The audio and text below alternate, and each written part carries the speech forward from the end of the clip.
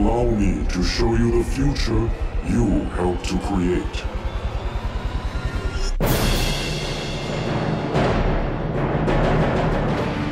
Hey, this is Hilary Goldstein, editor in chief of IGN Comics, here with a video review of Marvel Ultimate Alliance. This game is coming out on Xbox 360, Xbox PS2, PSP, PC, and just about every other console in the universe. So, it, no matter what you have, you'll have the ability to purchase this game if you so choose. Marvel Ultimate Alliance is from Raven Software, the same fellas that brought you X Men Legends and X Men Legends 2. It's a game that's basically in the same vein. It's a top down beat 'em up. You're just going to be button mashing like crazy, beating the crap out of everything in sight. Uh, but they've done some upgrades to it. As you can see already visually, they've gone away from that sort of cel shaded look uh, and gone to a much more detailed look. So it actually looks like a legitimate game now. Um, when you look at Captain America, you're not just going to see like a mush face. You'll actually get to see facial features on him. And when he throws his shield, it's not going to look like he's throwing a cardboard box. At Marvel Ultimate Alliance, the story begins with Doctor Doom attacking the S.H.I.E.L.D. helicarrier, and from there it just becomes a galaxy spanning event. You're going to visit Atlantis and the Skrull Throne World, and you're going to go to Hell and fight Mephisto. So it really is going to get you everywhere, and the best part of this is that it features 24 playable characters, 140 characters total, all from the Marvel Universe, and with the exception of the Punisher and the Hulk, who couldn't be there because their rights are owned by other video game companies, it's pretty much got every major cool Marvel character that you want to see, uh, plus a bunch of Marvel characters you probably never wanted to see, like Blade. How in blazes did I get here? But it's great because this is a total Marvel geek out. So with all these characters and you know, making allusions to a lot of past stories. It really is going to give something extra to people that love Marvel Comics and read comics, but at the same time, it's still just a beat 'em up with characters that you know, such as Spider Man, Thor, Wolverine, that even if you don't know anything about comic books, you can still get in there and have fun with it. And hey, if you want, you can actually learn something about the Marvel history that a bunch of nerds know about. Now, the gameplay follows the same as X Men Legends 2, except they've actually expanded on it in some really great ways. They wanted to streamline some of the fighting, and what they've done is they've gotten rid of those annoying health potions and energy potions. Instead, you know, enemies are to just drop that stuff as you're beating them. So instead of having to micromanage all the time, you know, what's the AI doing with my health potions? It's like, oh, I've got to pop into this character so I can heal him. You don't have to worry about that anymore. You really can just focus on the character you're playing as at that moment you know, and just have fun beating the crap out of things. But at the same time, they've added some interactivity to the powers that you're going to use. So, for example, Captain America, when he throws his shield, you can actually hold down the button and guide the shield for a couple of seconds. And as you level up that power, you're going to be able to control it for longer. You can make that shield do some crazy stuff. You can basically break the laws of physics, but who cares because it's Captain America and he's beating the crap out of robots. They've also taken some of those cool, innovative little features that you know, really take the gameplay and make it a lot more fun and make you a lot more involved in combat.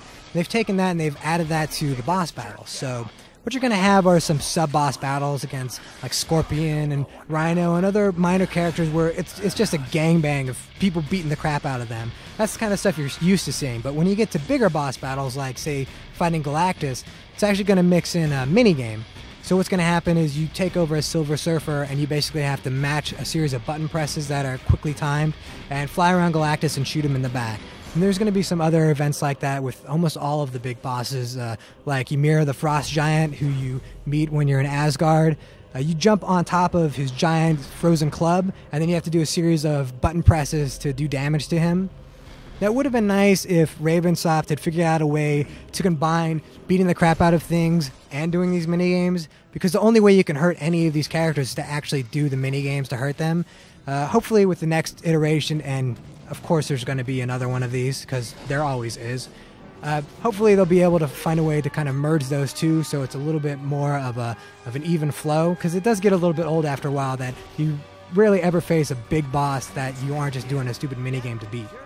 As much fun as it is to pummel people, toss them around, jostle them, electrocute them, that's as as good as that is. The puzzles are in the opposite range. They're just not fun and they're not innovative in any way. Once again, you're in a game where you're going to be pulling blocks and moving them around.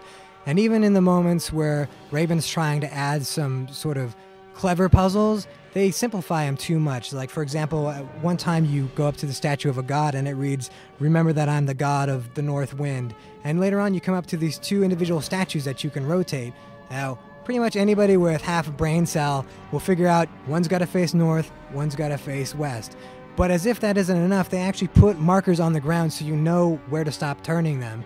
Uh, you know, it's not puzzles for dummies. People are actually smart enough that they can figure out little things like this themselves. And, and if they can't, that's why we have guides. So that, that is probably the one downside. Uh, Raven really needs to figure out a way uh, for the next iteration to come up with some innovative puzzle design and to understand that just because this is a game for the mass market doesn't mean that it's a game for people who drive on the short bus. Just like X Men Legends and X Men Legends 2, this is a one to four player game you can hop online or you can play it on a single box, whatever you want. Uh, people can hop in and out, it's pretty easy. And you can play cooperatively through the entire story mode, or you can, you know, let the AI characters be handled. And, and actually, the AI is, is, smart enough that it, it they won't get killed very often, so you don't have to worry about managing the team so much. And if you play with your friends, they probably will get killed more often because, let's face it, your friends are idiots. But what's cool that they've added this time is that along with a cooperative mode, they have a competitive play mode, an arcade mode.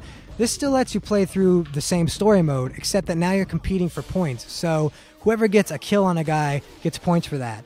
And so what you're going to see is you might have one friend who's going to stay in the back, and while the other guys are, are beating up an enemy, he'll just come in at the last minute just to get that final hit in on them, steal all the points from you. So it's kind of a fun battle because it's while you're still trying to beat the game, you're also trying to beat your friend because there are point scores at the very end of each level that tally up tokens for different things like who got the most kills, um, who died the least, those kind of things.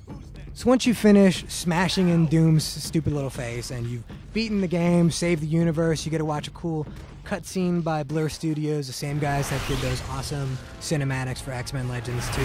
Then you're to get what's called an epilogue ending. And those are basically these short little cutscenes that are mixed together based on the choices you've made throughout the game, and they decide essentially the fate of the entire Marvel Universe, and they give you incentive to play through the game again and make some different choices. Marvel Ultimate Alliance is like the perfect summer movie for your console. It's got lots of explosions, doesn't necessarily make all the sense in the world, it's not going to win an Oscar, but you're going to have fun the entire time you're there.